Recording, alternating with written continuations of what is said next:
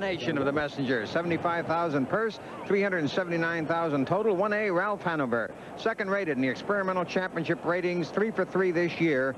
And Ron Waples drives. 2b Kawartha Robust Rejean Daigneault. 3c Jamuga who was scratched lame from the Battle of the Brandywine last year trying to come back tonight for Bill O'Donnell. 4d Power Bunny Carmine Abbatiello. 5e Jewel with Dr. John Hayes driving. 6f Empire Larry and Buddy Gilmour 7g Felonious Bill Popfinger. 8h Star Happy with Michel Lachance.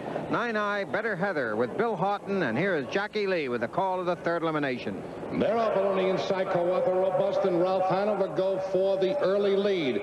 Felonious moving from the far outside. They're in the turn. Ronnie Waples has the lead with Ralph Hanover. Making uh, Daigneault and Kawartha Robust tuck in second, going off stride.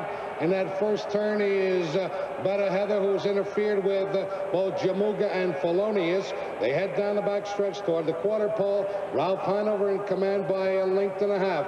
Kawartha Robust racing second, a gap of four.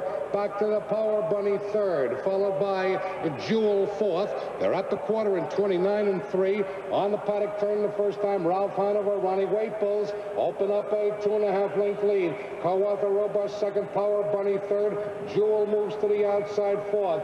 Jamuga underway on the outside fifth. They approach the half-mile pole. Ralph Hanover in command by a length and a half. Along the inside, Kawartha Robust is second. Moving up on the outside is Jewel, now a closer third. Jamuga up to take fourth. Power Bunny fifth. That's Empire Larry sixth. Felonious seventh. Star Happy is eighth. And Better Heather has been pulled up. The half mile, a minute, two fifths of a second. Down the back stretch the final time. It's Ralph Hanover showing the way by a length and a half. Jewel parked on the outside is second on the inside. Kawartha Robust is third. Jamuga trying to make up ground on the outside fourth. Empire Larry, big kick on the far outside for Buddy Gilmour. He is now a closer third. Three quarters on the board in 130 and two. On the final turn, Ralph Hanover shows the way by a full length. Jewel parked outside second. Kawartha Robust is third. Empire Larry fourth. They head to the top of the stretch. Ralph Hanover has been there all the way for Ronnie Waples. Leads it by a length and a half. Battling for second is Jewel and Kawartha Robust. They're inside the 16 pole, and Ralph Hanover has the lead. Kawartha Robust coming at him. It's Ralph Hanover in front.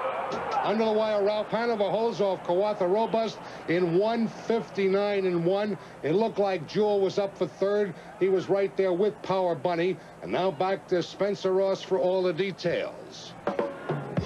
Well, as Stan mentioned, uh, the experimental ratings, Ralph Hanover, number two. Impressive performance as number one OTB letter E, this three-year-old son of Meadow Skipper, owned by the Waples Stable, Becerra Stable Incorporated, Grant's Direct Stable of Canada, trained by Steve Firlotte, and driven by Ron Waples. 1A, Ralph Hanover returns $4, $3, $2.20. 2B, Kawartha Robust was second, 520 and $4, and 5E, Jewel also gets into the finals as the third place finisher, $4 $4.60 to show. The triple of 1, 2, and 5, A, B, and E, $183 even. A tough night for Hall of Famer Billy Haughton. Big band sound interfered with in the first division. Ticket to ride out of the money in the second division. And right here, Better Heather making a break going around the turn the first time. There'll be